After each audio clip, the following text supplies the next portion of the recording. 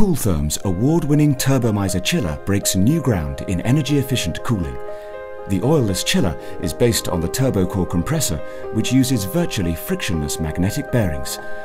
Add high-efficiency EC fans, inverter control, microchannel condensers, and total immersion evaporators, and it adds up to the most efficient chiller on the market today. A recent installation at a Colt data center carried out by Cool-Therm is saving the company 55% on its energy bills. Big savings that go on year after year. Turbomiser is ideal for use in data centers, hospitals, offices, shopping centers, and process cooling applications. To see how the remarkable Turbomiser chiller can save you money, call Cool-Therm now.